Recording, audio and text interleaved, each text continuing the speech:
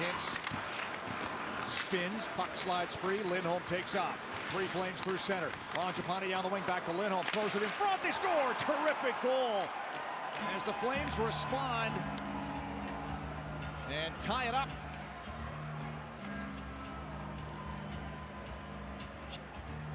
Sharangovich, who had the shorty last game.